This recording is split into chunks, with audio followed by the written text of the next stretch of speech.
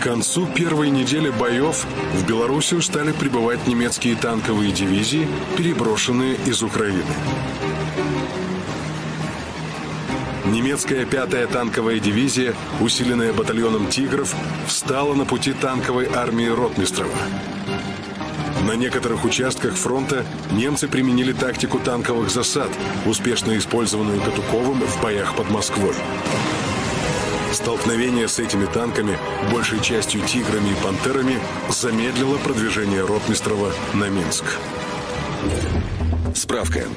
В июле 1944 года в составе 5-й гвардейской армии Ротмистрова не было ни одного нового танка Т-34-85. Эти машины, вооруженные 85 миллиметровой пушкой, способные на равных сражаться с «Тиграми» и «Пантерами», его армия получила лишь в августе 1944 года.